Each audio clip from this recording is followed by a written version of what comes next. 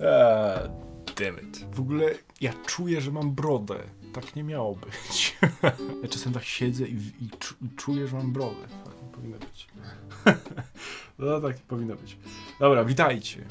Wyjaśnijmy sobie parę rzeczy. Po pierwsze, nazywam się Mikołaj Kapusta. Miło mi. Nie Michał. tak? Nie Michał. Bo zbyt wielu popełnia tę pomyłkę. No i oczywiście i Kapusta. Kapusta. Piękne polskie nazwisko. Nie, nie kapucha, tak? Też widziałem, że ktoś, ale to pewnie ze złośliwości, tak? Rozumiem? Dobrze zrozumiałem? Sprawa numer dwa. Nie jestem waszym idolem. Kochani, proszę. A wy nie jesteście moimi fanami. Nigdy was tak nie nazywałem i nigdy nie będę was tak nazywał. Niektórzy z was sami tak się nazywają, ale proszę nie róbcie tego. Jakby chciałbym podać e, podstawę biblijną tego, ale nie jestem w stanie, ponieważ chrześcijanie raczej zawsze wychwalali siebie nawzajem, więc to jest fajne. No ja też to często robię, nie? Ale jakby, no proszę. Mimo to jakby zejdźcie stąd, o to mi chodzi, nie? Bo ja nie jestem mistrzem, ja właściwie nie żyję. Żyje we mnie Chrystus. E, I wszystko, co dobre widzicie we mnie, e, to nie jestem ja. To jest Chrystus we mnie. Duch Święty. To są owoce Ducha Świętego. O, nie? Gdybym ja był bez Niego i tak dalej, to pewnie byłbym śmieciem jakimś tam nikim. Ale dzięki Niemu jestem kimś. Jestem Jestem piękny, jestem fajny, jest, jest, jestem mistrzem. znaczy, nie dokładnie ja, no bo mnie nie ma. Trudno wytłumaczyć tą teologię, ale tak jest. Ja nie jestem mistrzem. Mistrz jest we mnie. O. O, tak. E, chciałem wyjaśnić jeszcze to. Niektórzy mówią, że jestem pyszny. Słuchajcie, czy jestem pyszny? E, no trochę na pewno tak. Bo z pychy w pewnym sensie wypływają wszystkie grzechy, tak? Nie bez przyczyny pycha to jest pierwszy grzech główny.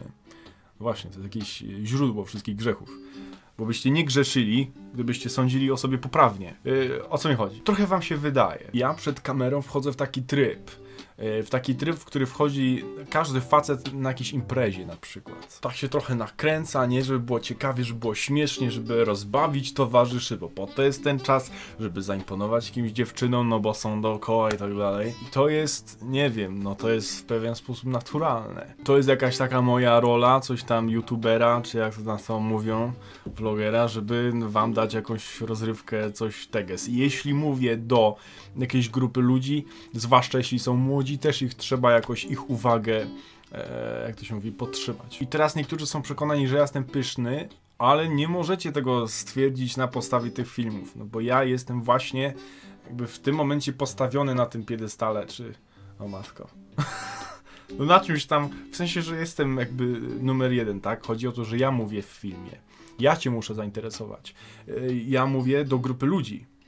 Ja teraz mówię. Rozumiesz? Chodzi mi o to, że jakby kiedy jestem na rekolekcjach jakichś, których ja nie organizuję, na przykład, gdzie ja nic y, nie mówię, tak oficjalnie, w sensie nie mam katechezy czegoś tam tego i owego, to ja znam swoje miejsce. Potrafię gdzieś usiąść z tyłu. Lubię siadać z tyłu. Lubię siedzieć cicho, lubię się wyłączać, nie? Chyba, że czasem jest naprawdę drętwo, no to rzucę jakimś, no właśnie, czymś takim, nie? E, Wiecie o co chodzi. Więc myślę, że moglibyście powiedzieć tak naprawdę dokładnie, czy jestem pyszny, gdybyście mnie też zobaczyli w takich sytuacjach, nie? Gdzie ja nie gram pierwszej roli, jakby, tego zabawiacza. No bo wtedy trochę muszę gwiazdożyć, zwłaszcza, że coś tam dla młodzieży, nie? Po czwarte, nie wiem, czy to trzeba mówić, yy, niektórych zaskoczę. Po prostu niektórzy, jak się spotykają ze mną, to zadają mi to pytanie, yy, no to ile masz tam hajsu z YouTube'a? no, bardzo śmieszne, tylko że nie mam ani grosza. Bardziej kumaci to wiedzą, no bo widzą, że nie mam żadnych reklam tak na filmach i tak dalej, yy, co jest ku waszej, że tak powiem, wygodzie, żadne reklamy wam nie przeszkadzają w oglądaniu, nic trzeba tam celować w ten krzyżyk, ani czekać aż coś przeleci jakaś reklama. Znaczy, oczywiście nie mam nic do tych ludzi, którzy tak mają, samym tak chciał, ale nie mogę. I teraz dlaczego? YouTube po prostu mi tą opcję wyłączył. Jak to złośliwi mówią, pewnie klikałeś w reklamy. Nie, no tak głupi nie jestem, ale coś się wydarzyło, nie wiem, nie podali powodu, ja jeszcze nie zbadałem tej sprawy, zostawmy to, ok? Chodzi tylko o to, że ja nie dostaję ani grosza z YouTube'a, z wyświetleń, mam ich dużo, czasem, ale ani grosza nie dostałem. Y, pomagają mi tylko ludzie, którzy weszli y, na mojej stronie na podstronę wsparcie. Tylko stąd mamy jakieś pieniążki na sprzęt, do którego teraz mówię, między innymi, na którym montuję też filmy. Tyle. Tyle. po piąte. Słuchajcie, to jest dla mnie dziwne, że niektórzy jeszcze nie rozumieją, e, mają pretensje do mnie, że ja nie odpisuję na wiadomości. Ktoś do mnie dzwoni. Koleżanka ze studiów. Halo, cześć. no co ty? Jo, to są zgydzy. Pa. Yy, no i tak to wygląda. Idziemy dalej. Znaczy ja skończyłem w ogóle. Yy, słuchajcie. Jeszcze jak wspomniałem w tytule, yy, zrobiłem ankietę. Na Facebooku dałem linka do ankiety, yy, ale po pół godziny go zdjąłem, bo yy, jakby dobiliście do limitu 100 osób. Yy, tylko 100 osób, ale to dobra grupa kontrolna, nie? To studenci psychologii pewnie potwierdzą. Co wynika z tej ankiety? Tam było 8 pytań. Yy, Pierwsze pytanie o płeć, z którego wynika, że dwie trzecie oglądających to kobiety. Hmm, Przejdźmy dalej. Drugie pytanie było o wiek. I tu widzicie, jak się rozkładają tam te grupy wiekowe. Duża większość to są ludzie po prostu młodzi od 16 do 25 roku życia. No, do przewidzenia. Pozdrawiam wszystkich tutaj w tych, w tych mniejszościach. No fajnie, że jesteście. Tu trzecie pytanie. Jaka długość moich filmów odpowiada Ci najbardziej? Odpowiedzi na to pytanie potwierdzają moje rozmowy z Wami e, na różnych wydarzeniach, na których się spotykaliśmy, że wolicie ciut dłuższe filmy. E, 13 osób wybrało nawet odpowiedź godzina, bardzo chętnie. O matko, kocham was. Także będę celował jakby w, w te minuty, tak myślę, pewnie tak do 10, nie? Następne pytanie, czwarte, dotyczyło e, tematyki moich filmów.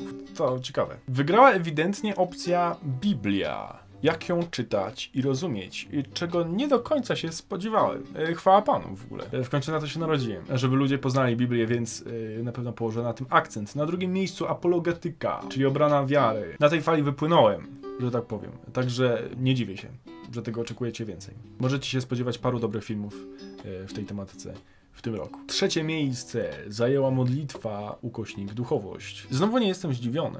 E, Bo wiele osób, w tym w ogóle hipster katoliczka, którą pozdrawiam, mówiła mi, że ich ulubiony film z moich to jest e, ten z ogrodu.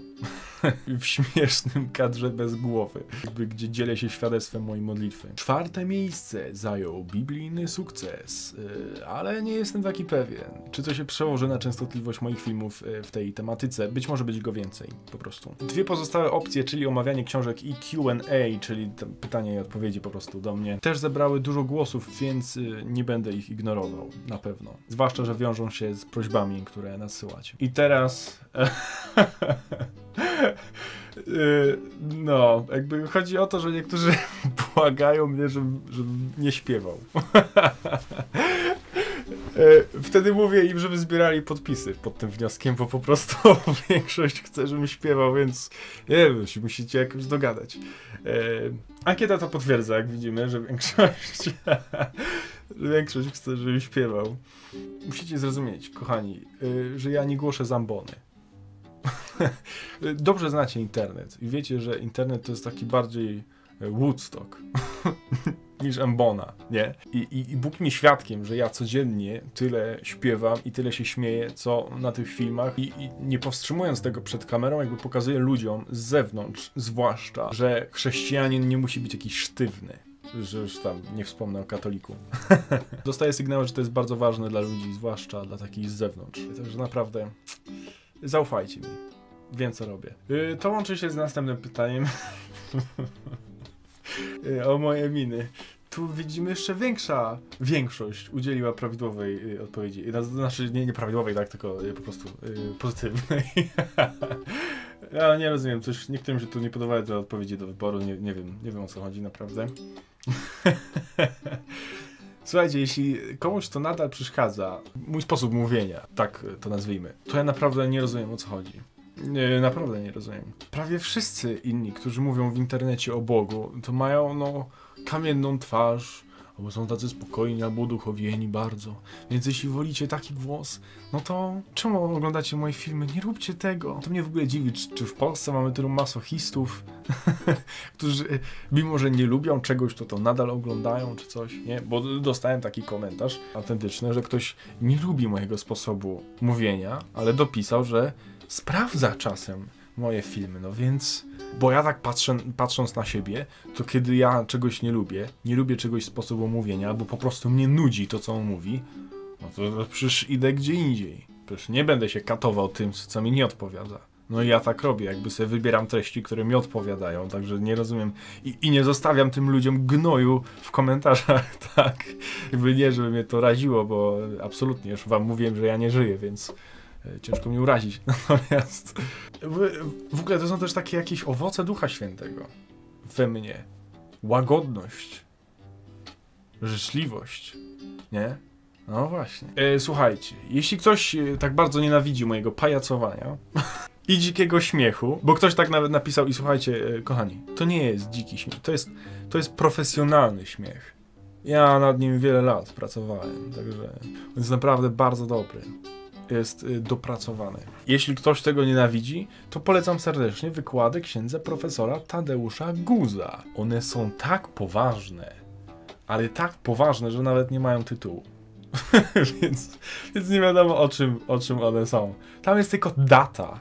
Tam jest tylko data i nazwisko wykładowcy, także proszę bardzo, one są tak poważne, że nie mają tytułu. E, oczywiście mam wielki szacunek do księdza profesora. E, ki- kilku wykładów w ogóle wysłuchałem zbierając szczękę z podłogi.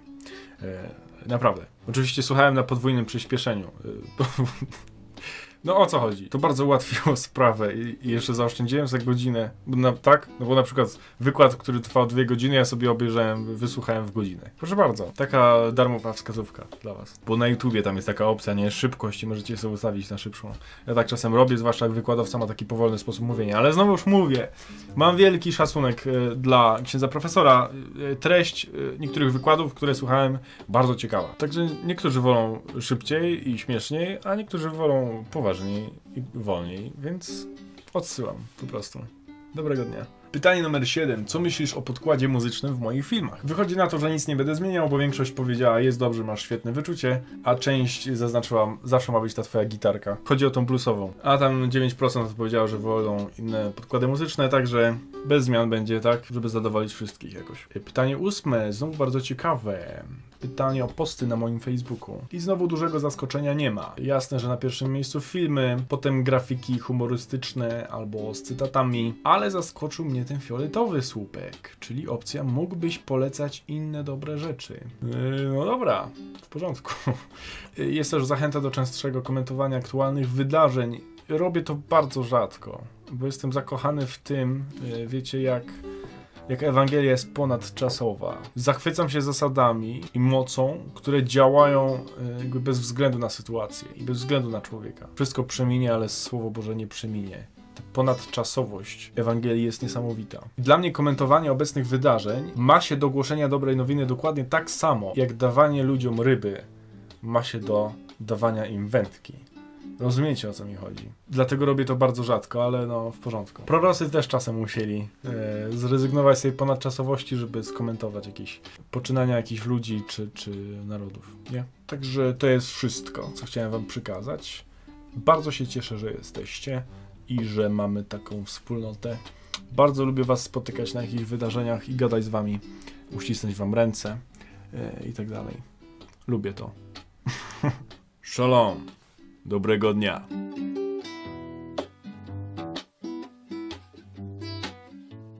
Samotność to taka straszna trwoga. Ogarnia mnie, przenika mnie. Ktoś prosił o rokowe, także proszę bardzo. Z tym zarostem wyglądasz jak gość z X-Mena. Rozumiem, że chodzi o Wolverine'a, to już y, parę razy czytałem. Słuchajcie, no już wolę to, niż przyrównywanie mnie do tego pedofila, znaczy, przepraszam, wampira z, y, ze Zmierzchu. E, no co? No przecież on tam ma, nie? Ile? 100 lat? A ona ma 17, no to co to jest? Nie myśleliście o tym w ten sposób, no to warto pomyśleć. Kurz. Ale nie, przepraszam, bo on też wygląda na 17, a to, a to w porządku. Spoko. W porządku.